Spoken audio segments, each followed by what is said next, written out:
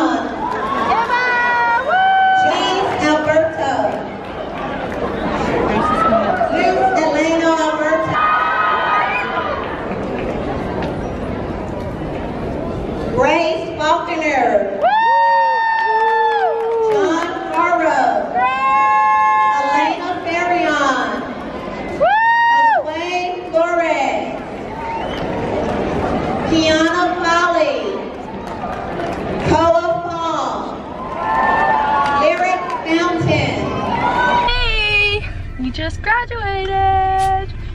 Here's our papers. I'm dancing in flames. I'm dancing in flames.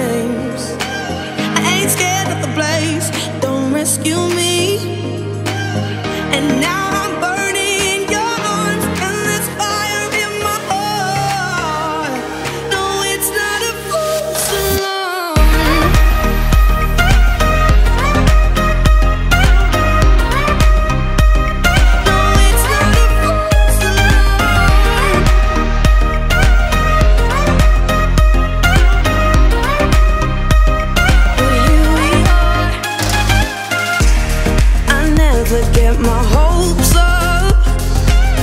Cause then I'll never get let down.